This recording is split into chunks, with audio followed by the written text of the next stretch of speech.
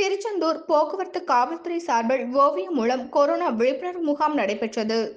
திருச்செந்தூர் பகுதியில் கொரோனா நோய் தொற்று பரவலை கட்டுப்படுத்தும் வகையில் பொதுமக்களுக்கு பல்வேறு விழிப்புணர்வு நிகழ்ச்சிகள் நடத்தப்பட்டு வருகிறது.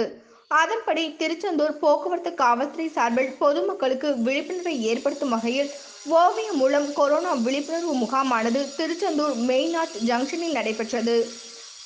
திருச்செந்தூர் உதவி காவல் கண்காணிப்பாளர் ஹக்ஸின் தலைமையில் நடைபெற்ற முகாமில் திருச்செந்தூர் காவல் ஆய்வாளர் ஞானசேகரன் போக்குவரத்து உதவி ஆய்வாளர் வேல்முருகன் மற்றும் காவல்துறையினர் பலரும் கலந்து கொண்டனர். நிகழ்ச்சிக்கான ஏற்பாட்டை பிரைட் டைல்ஸ் அண்ட் கிரானைட் உரிமையாளர் கோபிநாத் செய்திருந்தது குறிப்பிடத்தக்கது.